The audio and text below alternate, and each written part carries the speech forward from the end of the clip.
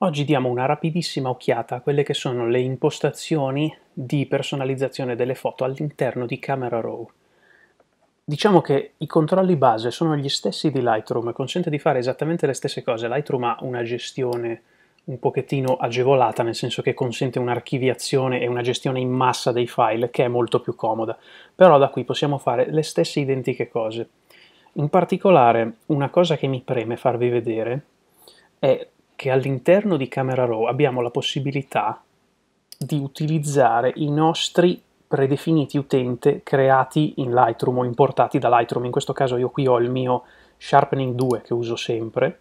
lo applico sulla foto e quest'iconcina mi dice che è stato applicato un preset e la comodità è che io posso gestirmi delle dei piccoli batch di immagini all'interno di Camera Raw senza passare per forza da Lightroom. Questo lo posso fare se sono immagini che so già che cancellerò definitivamente subito dopo e non ho voglia di fare il passaggio di creare cartelle, per esempio. Una cosa che ci tenevo a farvi vedere è questa. La seconda è che io posso applicare delle modifiche, in questo caso per esempio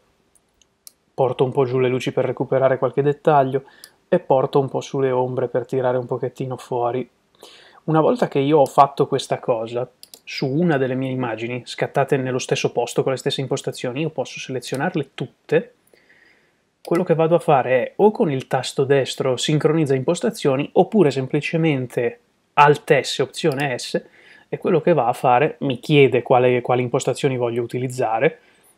questo caso io attivo tutto perché le impostazioni sono le stesse, non faccio modifiche di nessun tipo se non quelle che vi ho già fatto vedere, gli dico ok, compare l'iconcina e il mio